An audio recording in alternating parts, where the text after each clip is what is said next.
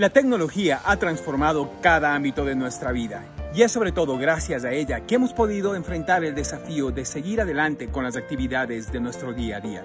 Sin embargo, todos hemos experimentado que podemos volvernos dependientes, sobre todo cuando le prestamos toda nuestra atención, ¿verdad? El manejo correcto y equilibrado de la tecnología también entra dentro del ámbito de nuestra responsabilidad, porque esa atención excesiva puede traernos consecuencias físicas y emocionales, a nosotros, y aunque no lo creas, también a nuestros seres queridos.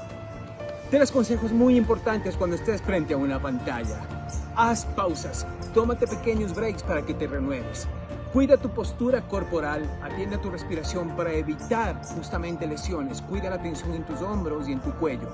Y tercero, de vez en cuando desconecta. Es muy importante que desconectemos y nos renovemos, aclaremos nuestro pensamiento y entonces sí volvamos a la productividad. Por eso queremos decirte, no permitas que la vida y los tuyos pasen por tu lado mientras tú estás mirando una pantalla manejando responsable y equilibradamente nuestra tecnología, seremos mejores hoy.